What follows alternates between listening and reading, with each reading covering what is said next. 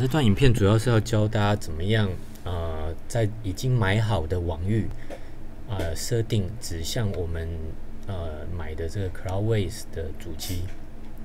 好，那我们到 Cloudways 的首页，按上面的 Login 之后，会有这样子的一个画面。那我们在这边填入我们当初注册的时候的账号跟密码。那你登录完之后呢，会来到这个会员的专区。那在这边就是会有一些你的账务资料，可是这个并不是设定主机的区域，所以我们要按上面这一个黄色的按钮。那我会建议大家，呃，就把这一个网址记下来，以后直接输入这个网址来登录，这样就会直接进到我们的主机，而不会跑到那个会员专区。那从这边要去会员专区，按这里 Member Area，啊，那到这一个主机区域来之后呢，我我现在要知道是这一台主机的 IP 是多少，这样我才可以做指向，我才可以从我的网域那边指向过来。好，我刚按了管理 Manage Server 就会进来到主机这边嘛。好，然后再按这个 Application Management。好，那这边。我可能装很多个 WordPress，很多个网站，不过没有关系哈。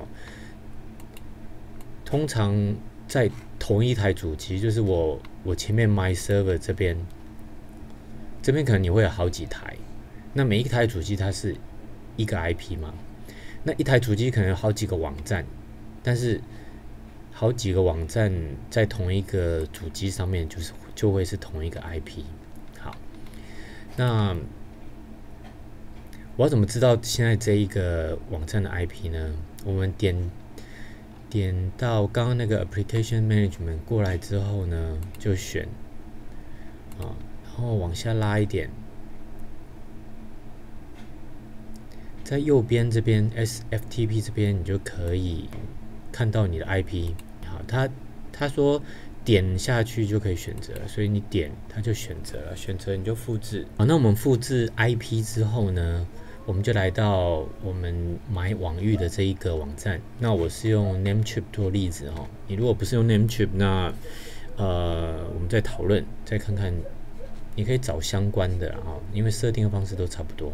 好，你如果是一个新的 domain，你的画面进来啊，选进来之后，你在左边你就可以找到这个 All Hosts Rakers，然后就可以看到这个。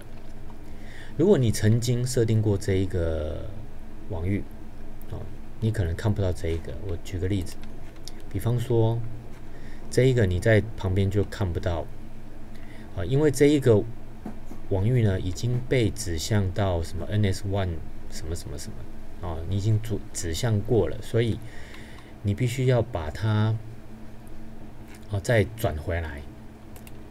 所以你点这个 transfer DNS transfer DNS back to us，打勾，按储存，这样子你就可以看到左边有这一个 All Host Records 这一个选项。好，那所以你不管是刚买马上可以选到，或者是你曾经指向过，然后再把它转回来，总之你必须要呃。点到这个 o h o s r e c s 这个选项，然后看到这个，好，在这边呢，我们只要管这两上面这两个就好，其他都不要管。OK，第一个你要把刚刚那个 IP 贴上来，然后设定 A，好，然后后面 TTL 生效的时间，呃，我我是多打一八零零，这个你也可以参考我的。那第二个呢？Triple W 这边，你再把你的王玉再打一次，然后这边选 CNAME。好，这个意思是什么呢？就是如果人家前面没有打符号，也就是他只打三十二 LCDTVS 点 ORG，就会指向到这台 IP，就到主机那边去嘛。